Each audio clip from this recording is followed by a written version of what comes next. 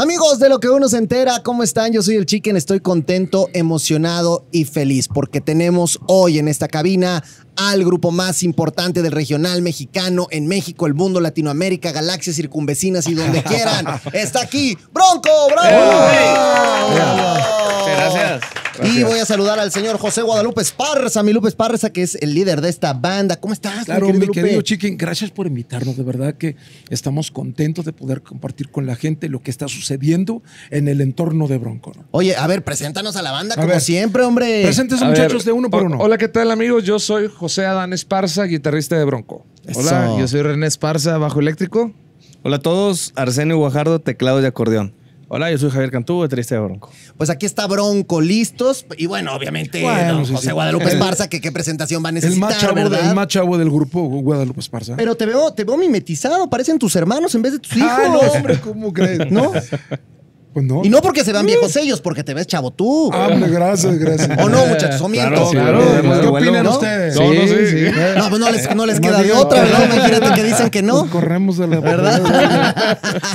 A la brevedad muy bien. Sí, posible. exacto. Oigan, pues ayer fue un día muy importante. Bueno, en, en antier en realidad que se estrenó la serie que habla de Bronco y que la gente la recibió con mucho cariño y con mucho amor. Y yo creo, mi querido Lupe, que además esta serie que está basada en algo que tú escribiste, en tus vivencias, en Claro, un libro que, que tú fuiste concibiendo con todo lo que fuiste viviendo a lo largo de todos estos años, te debes sentir muy contento y muy orgulloso de cómo se materializó este proyecto, ¿no? Muy contento, muy orgulloso y agradecido, de verdad. Ah, recién se, se estrenó aquí en, eh, en, este, Azteca 1 y ya sentimos la vibra, la presencia. De repente va uno a echar gasolina o algo y te preguntan, oye, qué fregona la serie. Ya, ya la empezamos a ver todo el mundo y la verdad es, es bien interesante, muy bonito compartir con la gente el camino recorrido para llegar a donde estamos ahorita, este bronco que estamos aquí y compartir con la gente todo lo que vivimos paso a paso.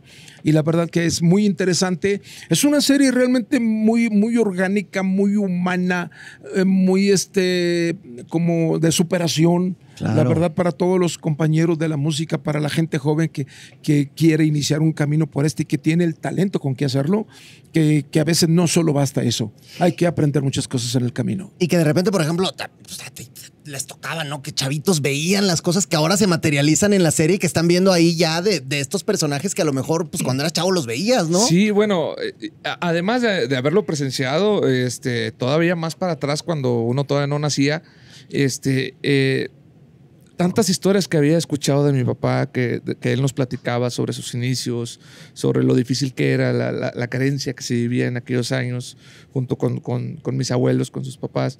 Este, y luego de repente verlo materializado ahí en la serie con una actuación. Este, realmente para uno se le puso la piel chinita y hasta las lágrimas llegan a salir también porque eh, verlo representado es, ya es totalmente diferente, ¿no? O sea, haces recuerdo de, de- de lo que me platicaba mi papá y verlo, pues sí, es, es, es realmente algo muy bonito. Yo sé que, por ejemplo, para ustedes, bueno, pues estar en Bronco es un honor grandísimo y se sienten muy felices de estar porque además están por su talento, muchachos. Pero, eh, ¿qué, qué sienten de pronto de ver, pues, toda esta historia de una banda, cómo se fue generando, de todas las cosas que tuvo que pasar aquí el señor para poder llegar, para triunfar, para conquistar el estrellato y verlo así materializado en una serie de televisión? No, pues increíble, chicken. La verdad que, por decir, yo, yo conozco mucha historia de Bronco, pero del lado de por fuera, de fan. Claro. ¿verdad? Muchas cosas me las sé, otras cosas las, las aprendí en, en la serie, ¿verdad? Me di cuenta de ellas. Pero la verdad que es, como tú dices, es un honor, es algo que nunca pasó por la, por la cabeza de uno. Y estar aquí, pues es increíble. Aparte de la convivencia que tenemos aquí, pues es familiar, es de todos los días. Entonces, pues no, nosotros encantados. Y en tu caso, me imagino, pues ahí ves al- al- al- cómo empezó el choche y toda la banda, ¿no? También. Sí, no, fíjate que, que conocer toda la historia, todo el sacrificio, todo el trabajo que, que se tuvo que pasar para en estos momentos llegar a, a donde están y todo lo que, lo que vivió Bronco, pues son muchas cosas que pues, a nosotros no nos tocó de, de chiquito, pero ahorita verlo reflejado en la serie es como que, ay, canijo, eh, le tomas más el, el- más de por sí hay mucho amor que amamos la música pues le tomas más amor más más fuerza más coraje para hacer las, las cosas mejor no ¿Qué, qué, qué te motiva, mi querido Lupe, de pronto para decir, voy a escribir un libro que hable de todas las cosas que yo he pasado, de lo que he vivido, de, de- de este corazón bronco que tú tienes? Claro, ¿Qué, claro. qué- qué te llevó a eso para empezar y luego materializarlo en Me una llevó serie? realmente la necesidad de compartir con la gente, con los jóvenes, con los niños, este, todo lo que vivimos en el camino, la verdad. Ahorita hablaba Javi de ese sacrificio que hicimos los Broncos en su momento. Realmente eso es fantástico. Eh, tuvo su, su premio al final de cuentas del camino tormentoso, con piedras, con nopales en el camino, con tropezones, caídas, hambres, miedos, eh, carencias, y todo eso valió la pena. Y precisamente eso es importante reconocerlo, eh, eso que vivimos, eh, Eric, Ramiro, Javier, Choche, eh, y un servidor, obviamente, ilumina hoy el camino de, de estos broncos que hoy estamos y que seguimos dándole vida a esa historia fantástica llamada Bronco. Que por cierto, la última vez que platiqué con ustedes decían, estamos muy contentos porque casi ya vamos a tener eh, 10 años juntos. Bueno, ya se superó eso y ustedes pasó. están ahí, ya superaron esos 10 años, siguen vigentes, la gente los quiere, se van a presentar en la Arena Ciudad de México, van a estar en Monterrey. Qué, experiencia seguir estando tan vigentes en Bronco, ¿no? No, para nosotros es una maravilla que la gente haya aceptado todos estos cambios que, que fueron necesarios para la agrupación y que además estén aceptando también este, ahí las, las ideas y un poquito este, lo que vamos ya tomando cada quien este, por nuestra cuenta y que sobre todo eso, como lo mencionas, también pues para mantener vigente al grupo y, y- y qué mejor manera que estar en grandes escenarios, ¿no? En escenarios importantes. Este, y para nosotros, olvídate, el poder estar en, en la Arena este, Ciudad de México y en la Arena Monterrey, para nosotros es un sueño que, que traíamos y, y que gracias a Dios ya lo cumplimos. Lo hicimos el año pasado, hoy nuevamente estaremos el primero de septiembre en la Arena CDMX y el 30 de septiembre en la Arena Monterrey. Yo me acuerdo... pero- sí, dime, dime, dime, dime. No, Bueno. es que yo me acuerdo, Lupe, que me Dime. contabas que, que cuando tú decides regresar con Bronco, Ajá. que ya ves que mucha gente vio el billete y dijo, de aquí somos, ¿no? Porque Ándale, esto va a funcionar así, bueno. ¿Conoces la historia Ajá, de eso? ajá, ajá. Sí, Es verdad eso. Y que de pronto, pues empezaron los eventos y no era el Estadio Azteca en el No, que se despidieron, no, eran no. eventos que, pues obviamente la gente tenía que volver a calentar todo lo que pasaba. Y que mucha gente se fue bajando del barco porque dijo, no, al final, y ahora otra vez haciendo estos grandes eventos, otra vez Arena Ciudad de México. Bronco está otra vez en este punto, y no de ahora, estoy hablando desde hace ya varios años, en el que me imagino para ti debe sentirse muy gratificante, ¿no? Muchísimo. Sabes que las grandes historias, los grandes sucesos, fenómenos musicales que suceden en este, eh, en este ambiente, eh, de repente tienen como fecha de caducidad. O sea, no todo el mundo se puede quedar encima eternamente. De alguna manera pasan de moda. El tiempo va añejando esas historias fantásticas, aparte de que hay otras generaciones ya, el público contemporáneo nuestro ya está en otras cosas, son abuelos, tienen compromisos que en sus- con sus hijos, con sus nietos, ya es diferente. Pero yo creo que con este cuadro eh, hemos logrado que, que no se haga vieja la historia, dándole más eh, capítulos nuevos, agregándosela. Y eso implica trabajar, mi querido Chiquen, como si no conocieran a Bronco nadie. Implica trabajar todos los días, estar aquí con ustedes, levantar la mano al público, eh, Bronco, estamos aquí, no somos un grupo del recuerdo, estamos vigentes, estamos en los mejores escenarios y eso se logró. Tú mismo dijiste ahorita que realmente no fue lo que todo mundo esperaba que fuera con el regreso de Bronco, como el gigante de América. Realmente no, y tenemos que reconocerlo con mucho respeto. Y creo que nosotros, abrace, en eso implicaba empezar como quien dice otra vez. Claro. Empezar a hacer presencia, empezar a hacer promoción, empezar a hacer temas nuevos, empezar a el caminar otra vez. Y yo creo que, que, que lo hemos logrado. Yo estoy muy contento con mis muchachos, con los cuatro, porque yo creo que juntos no hemos permitido que se, que se apagara la historia de Bronco. Y vamos por más. Oye, y me, y me imagino que, por ejemplo, tú ves eh, aquí al señor y dices, sí, a ver si un día me iba a dar chance de subirme con él. Bueno, ya me dio chance, ahora tengo que llenar los zapatos, tengo que llenar el hueco. Ya más de 10 años, ya, ya se cumplió, ¿no? Ya la armaste. Así es, pero no, fíjate que, que nosotros jamás le, le pedimos, por ejemplo, a él, a, a él de que papá queremos estar en Bronco o él que estuviera dentro de los planes de, de que fuéramos ustedes seguían con su banda y ahí estaban Nosotros bien. teníamos una agrupación que Los se llamaba Trotamundos Así es. Este, y estuvimos muchos años también, alrededor de unos seis años, cinco años, este, picando piedra, estando tocando puertas también y, y ahí dándole, haciéndole a la lucha, ¿no? Este, pero fueron las circunstancias realmente que mucha gente se va a dar cuenta también. Los que, eh, los que van a ver ahora la serie también este, se van a dar cuenta de cómo estuvo todo, eh, pues ese proceso, ¿no? De, de- de- de Bronco para que continuara. Todo ese proceso que, que mi papá dijo que, este, pues tomó, tomó él la decisión de, de ir haciendo en Bronco para que Bronco siguiera adelante durante muchos años más. A ver, nosotros ya vimos el, el primer capítulo de la serie, pero ¿ustedes ya vieron toda? ¿Ya, ya vieron todos Sí, los capítulos? Ya, ya, se la ya. aventaron. y, le- y sí, y sí les gustó, ¿qué sienten, qué piensan? ¿Qué va a seguir viendo la gente cada fin de semana? Híjole, no, hombre, se te pone la piel chinita, Su- decía sin Sí, yo sin les spoilear. puedo decir que sí les va a salir unas, Sí. lagrimitas ahí. Eso Sí van a ir a- echarle una Y una que otra carcajada también. Sí, muchas Es que son risas. divertidos. o sea, que el señor también Con las este gracias de choche, todo ese Sí. tipo de cosas. Es increíble, es una, es una, una serie muy sana, muy familiar, muy hermosa que, que, que la queremos compartir con ustedes. Que bueno, que ya estamos eh, volviéndola a ver, la verdad es increíble y gracias obviamente a Azteca 1 por, por, Oye. por proyectarla. Hay un personaje por aquí que se los tengo que decir que todo el tiempo está. No, que yo los bronco, que soy su amiga, que los quiero, que los amo, que sí, que no. Yo le digo, ay, chicuela, ya, hombre, para, basta. Lo sabe. Sí. No, que sus canciones están inspiradas en mí, Ah, que son qué mis caray. historias, que es esto, que yo, que en el avión y que el pañuelo y que el no, que no sé cuánto. ¿Cómo ves esa señora?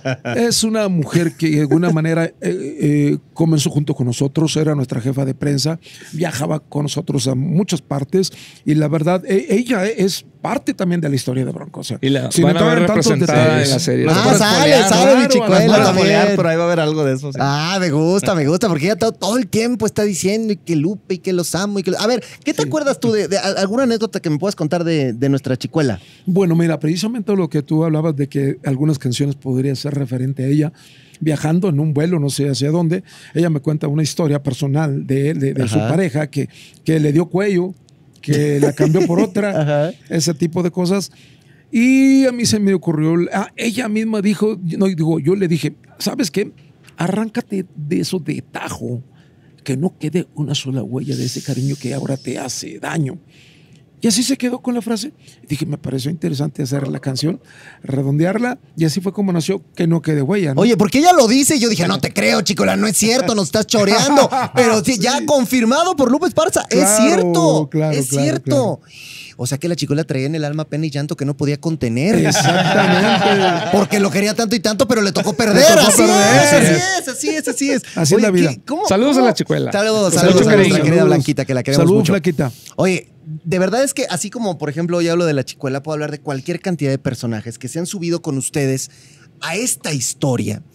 Que han estado, por ejemplo, en esta historia más reciente, cuando hicieron su primera fila, con todos los grandes artistas que se subieron a colaborar con ustedes. Después de eso, todos los demás que han estado y que han colaborado, y que todo el mundo tiene el común denominador de decir, quiero estar con Bronco, por lo que representa Bronco, por lo que significa Bronco. ¿Cómo se sienten ustedes de, de- de que la gente del medio artístico los tenga hoy en esta estima tan alta como debe ser Bronco? Pues eh, para nosotros es algo muy, muy satisfactorio también, porque este, también significa que el trabajo que se está realizando este, hace que, que Bronco siga posesionado. Entonces, eh, a la vez, pues también muchos artistas, muchos compañeros este, y gente que, que les gusta o quisieran eh, este, hacer algo con Bronco, pues eso también a nosotros nos atrae muchísimo y pues nosotros lo disfrutamos también, el poder también colaborar con colegas. Este, yo creo que es una de las cosas que más disfrutamos en cada uno de los conciertos. Este, imagínate, el año pasado estuvimos al Tri. Nunca, nosotros nunca pensábamos que un día íbamos a estar en un escenario de bronco. Cantando las, pie- piedras rodantes Y ahí. luego, y luego cantar las piedras rodantes con, con el tri, pues olvídate, para nosotros eh, es mágico, es maravilloso, lo disfrutamos muchísimo. Este, con Ana Bárbara, eh, nos ha tocado compartir con, con diferentes artistas, con Río Roma en otras ocasiones. Entonces, este, es algo que, que nosotros valoramos muchísimo, lo apreciamos y, y es, es imposible para nosotros de repente ponernos en el papel de fan, no tanto como, como de colegas o de amigos. Eh, Nos es complicado ponernos a- al nivel y, siempre nos sale el lado fan. Entonces, este, pues para nosotros es muy divertido también eso. Hasta a mí me, me sale el lado fan. ¿Tú te imaginas cuando nos dicen, oigan muchachos, Leo Dan quiere que si pueden contribuir con él en una canción de él? Yo como fan, imagínate. Eh, oigan muchachos, mocedades.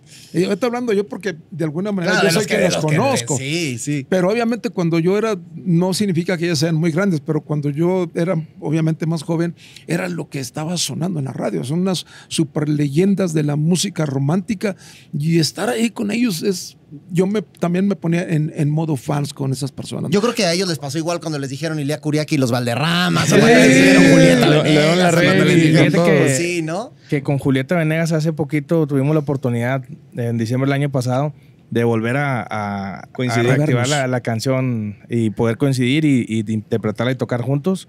Porque desde primera fila ya no, pues la, entre agendas de ella y de nosotros no, nunca se había podido. Además de que ella vive Eh, en Argentina, creo, tengo Sí, entendido. sí. No, no habíamos podido coincidir y ahora nos tocó y la verdad que lo disfrutamos bastante. Después de cinco años de Sí. haber grabado primera fila, lo pudimos volver Pero a hacer ninguno de en los vivo. cuatro me va a dejar mentir que yo creo que la primera gran experiencia de pertenecer a Bronco y de estar ahí es poder subirte al escenario junto a este señor. Ah, ¿no? claro, claro, indiscutiblemente. A ver, a ver, díganme qué piensan ustedes de Lupe Esparza. Pónganse al tiro, No, piensen bien lo que Eh, van a Piensen decir. bien lo que van a decir porque si pueden, no Porque puede si ser no hoy su último día en Bronco. cuello. Mira, chiquen, ah, yo, mira, como hijo, primero que nada, este, pues para mí el orgullo, ¿no? De, de- de tener un padre como él, este, que a pesar de, en la, en la bioserie lo van a ver, que a pesar de todas las, las ausencias que, que tuvo, siempre fue una persona muy familiar, fue un, un hombre muy de familia.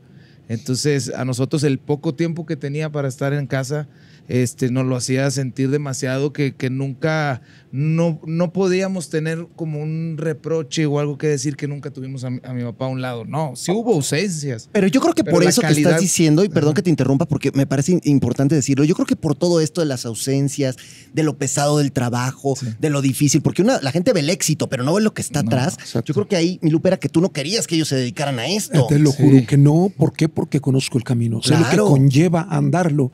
Y yo decía, no, no, no, no, no. Este, este momento que están la, con la guitarrita y el grupito es una chiflazón porque me ven a mí.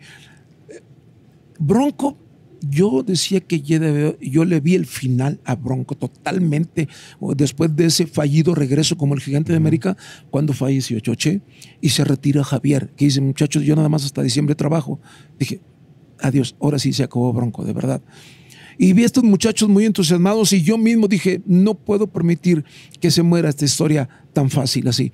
Y invité a estos muchachos que traen ideas nuevas y me, me demostraron que- que, no era un caprichito nada más, sino que realmente hablaban el mismo idioma que yo, enamorados de lo que hacen y eso me lo han demostrado yo con casi ya 12 años de estar junto con los muchachos. Y ahora para ustedes, lo que les decía de Lupe, ven este ejemplo y ustedes me imagino que también con sus familias, pues, pues aplican esa, ¿no? De tratar de estar, de tratar de ser, pero de no tratar de descuidar el trabajo. No es fácil. Claro, la, la verdad que como lo hemos platicado varias veces, nosotros llegamos a casa con la familia y al día siguiente si tenemos libre hasta mismo nosotros nos juntamos, parecemos una familia, siempre estamos juntos haciendo que una carnita, que vamos a salir a una fiesta o algo, siempre hacemos un motivo ¿no? para prender lumbre como decimos allá en, en- en Monterrey y de estar siempre pegado a, a- a nuestra familia. Y Lupe, perdón, este, pregona con el ejemplo, compadre. Entonces, este, aparte de admirarlo como artista, lo admiramos como persona. Y te digo, no, nunca tuvo que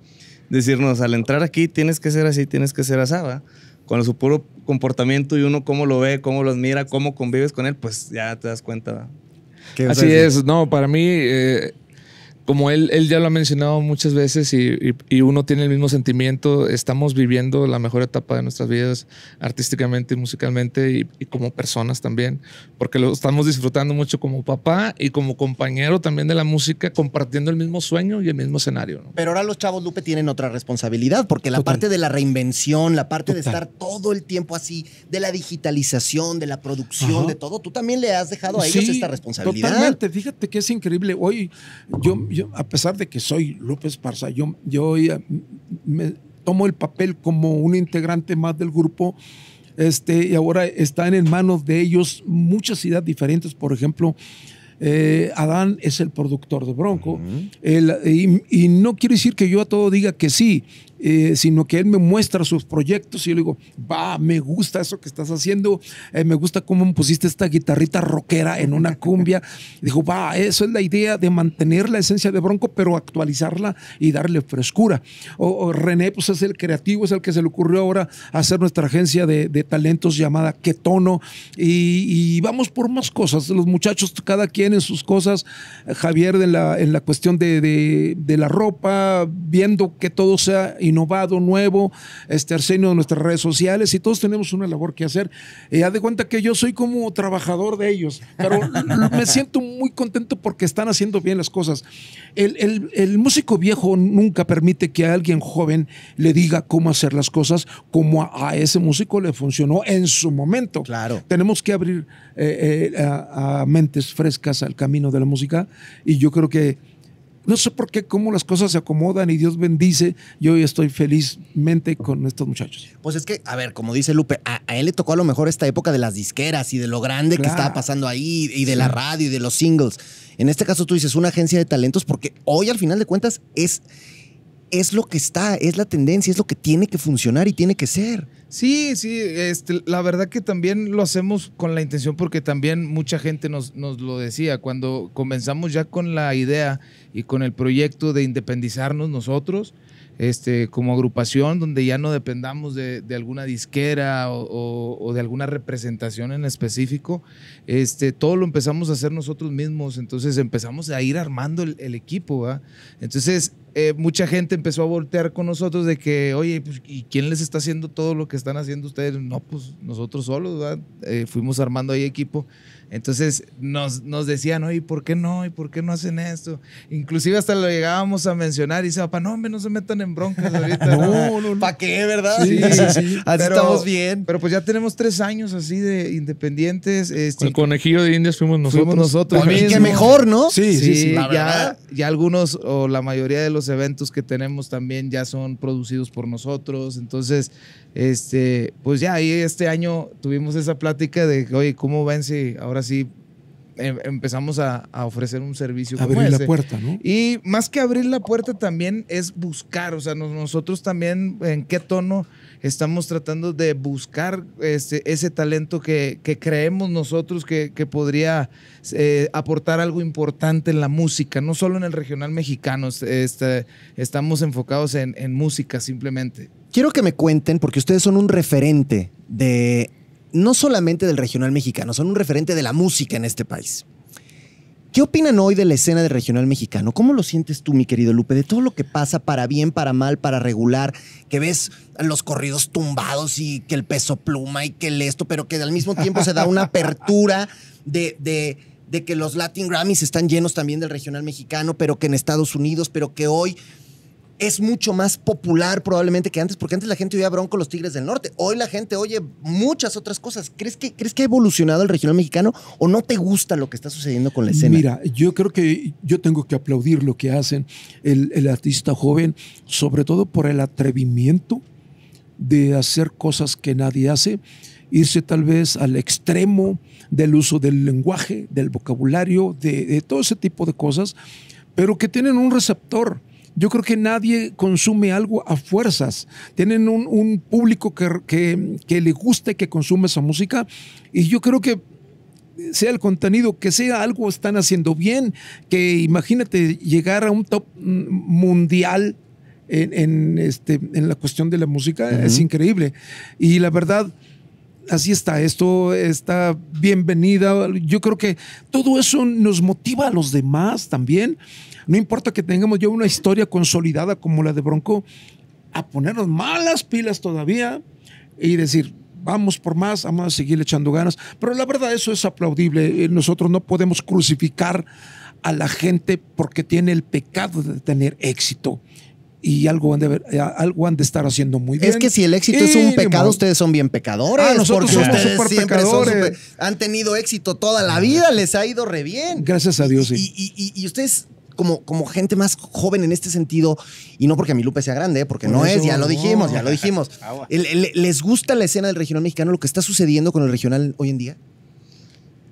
Eh, Ándale, mira, lo, ya lo pensaron mucho, ¿eh? Ya lo pensaron mucho. No, yo pensé que iba a hablar él. Pero no, la verdad, como dice el, señor Lupe, nosotros respetamos, al, fin de cuentas es, música y hay un receptor y hay mucha gente que le gusta y pues está como cuando se abrió el internet, ¿no? Está abierta todas las opciones, tanto música bonita, tanto música eh, muy explícita. Y pues ahí, ahí está, ¿no? La gente puede escuchar Aquí y, en el libro escuchar lo que quiera. No Oye. es que esté en nuestros playlists, pero pues ahí está con todo Ahora, respeto, una ¿no? cosa es que te pegue una canción y otra cosa es que te peguen 500 mil como le han pegado al señor. O que se sigan Que escuchando. están ahí, que la gente sigue cantando y que en, en todas las bodas está el Sergio el bailador, pero está Doro, pero está que no quede huella. O sea, pero que está se sigan escuchando O sea, 20, 30 años después. Exactamente. Sí. Y, y eso 10 creo que es el trabajo. Sí, mi, mi chiquen, en, en estos tiempos es muy complicado hacer clásicos. ¿Qué es una canción clásica? La que todo un país o toda Latinoamérica canta, aunque pasen 50 años, 60 Claro. años. Seguimos escuchando a José Alfredo, seguimos escuchando a Vicente Fernández. Esas son las clásicas. Ahorita en este momento salió una canción que todo el mundo escucha y en un mes ya salió otra y ya, ya no quiero esta, ahora me voy con esta que está acá. Es algo muy muy complicado que a veces cuesta eh, entenderlo. Ahora, el éxito, cuando viene de un, haces algo y por una cosa, por otra, por esta cuestión de las redes sociales, te vas hasta el cielo como popularidad y en todos los aspectos, y eres famosísimo de, de- de un mes a otro o algo. Y entonces, eh, ya estando allá al cielo, ya no hay más que subir, porque ya hay un tope. Entonces empieza inevitablemente lo que sigue es, es el descenso. La- aquí la cuestión está en que estos chavos le- se pongan las pilas, así como se las han puesto para tener ese super éxito, que se las pongan para que se sigan manteniendo allá y sigan motivando a otros grupos a que se pongan las pilas. Pero de ellos depende o se quedan un buen rato allá porque hay que bajar de que hay que bajar, hay que bajar. Claro, claro. Y Eh, luego puedes pero- regresar. Sí, todo depende. Sí, también puede ser el caso de volver a regresar, pero todo depende de la velocidad con que bajes a caída libre. Eso depende de ti, de tu trabajo, de seguir teniendo la fe a lo que haces y no pensar que ya está hecho todo. Eh, esto es una carrera eh, muy comprometedora en todos los aspectos. Y por eso una serie de Bronco vale tanto la pena, amigos, porque de pronto tú ves quiénes son los que tienen sus series. Los más exitosos de la música, porque fue José José, porque fue Luis Miguel, porque la tuvo en su momento Vicente Fernández, y por, aquí está Bronco. O sea, no cualquiera tiene una serie. ¿Por qué? Porque para que haga una serie, tiene que ser interesante para la gente. Sin Uno. duda. Dos, Sin duda. tiene que haber historias, tiene que haber un contenido para llenarla. Tres, tiene que ser verídica. Y cuatro, tiene que ser pertinente para el momento actual. Y todo eso está pasando con Bronco y sigue Sí. pasando con Bronco.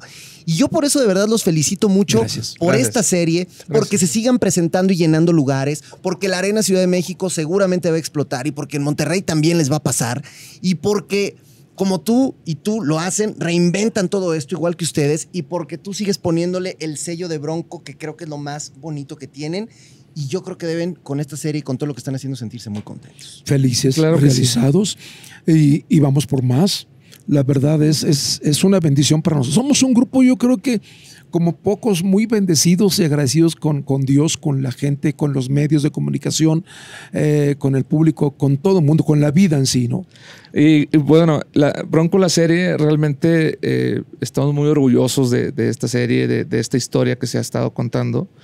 Como paréntesis, ahorita que decías que, que Bronco pues, que ha marcado muchos, muchas cosas, ¿no? Que, que han sido, bueno, Bronco, mi papá con sus compañeros eh, han sido pioneros en muchas facetas, en muchas cosas. Eh, Bronco la serie es la primera serie biográfica a una agrupación del regional mexicano. Sí, porque los demás eran personas, ¿no? Personas Ah, hay do- individuales. Hay, documentales tal vez, Sí. o hay de artistas solistas, pero este realmente es la primera de, de una agrupación del regional mexicano o grupero que, que se está haciendo. Entonces estamos muy orgullosos también por eso. ¿no? Y no podía ser otro grupo que Bronco, muchachos, obviamente. Yo de verdad los felicito. Gracias. Les agradezco Gracias. mucho que estén aquí. Gracias. Les auguro todavía más éxito del que ya han tenido y del que han tenido siempre. Gracias. Es un honor, señor López Parza, Gracias, tenerlo mi acá. querido Chicken. Y de verdad, muchachos, pues que siga el éxito. Muchas felicidades. Y para cualquier despistado que no ha seguido las redes sociales de Bronco, ¿dónde los encuentran? A Bien ver, fácil, compadre, bien fácil. Pueden buscarnos como Grupo Bronco. Todas nuestras redes están este, verificadas. Tanto en Instagram, Twitter, Facebook, en YouTube es Bronco Oficial. Y ahí estamos. De ahí también te pueden ligar a las individuales de nosotros, que también están verificadas todas. Ah, Pues ya échenselas de una vez. A ver dónde te encuentran. A ver. Échale, Javi. Échale. Arroba Bronco Javo. Bronco, Arroba Javo. Bronco Neno. Bronco Neno. Arroba Bronco René. Arroba Bronco Adán. Arroba Bronco Lupe. Si te metes al Bien TikTok, fácil. Lupe, Ah, andar viendo cosas y todo sí, ahí. sí, cómo no, me, doy, me entero. Es que es importante ver qué están haciendo otros artistas. Eh, es importante eso para de alguna manera compaginarnos y, y digo, bueno, ver ejemplos buenos y no imitarlos, pero hacerlo tuyo con mucho entusiasmo, ¿no? Qué agusticidad. ¡Qué agusticidad! ¡Qué agusticidad! Ellos son broncos, muchachos, aplausos. Y bien pendientes en Azteca 1 porque está la serie de Bronco. No se la pierdan. Ya empezó el primer capítulo, Todos pero los va a sábados. seguir, va a seguir, va a seguir. Sí. Todos los sábados por Azteca 1 para Y que la vean. pónganse ¿no? al tiro para el primero de septiembre, Arena CDMX. Ay, va a estar CDMX. bueno. Arena eso, también Ya me CDMX. emocionó, ya me emocionó para ir a bailar y ponernos, pero bien chidos. Eh, bien pendientes el otro, el otro sábado con el segundo capítulo, ¿eh? Sí. Porque está Va muy a estar bueno. interesante. Ya empezó bien, se va a poner mejor. Y sin spoilers ya dijeron, lagrimilla, risilla y de todo ellos son bronco, muchachos. Gracias, yo soy el chicken. Esto fue de lo que uno se entera. Adiós. Gracias.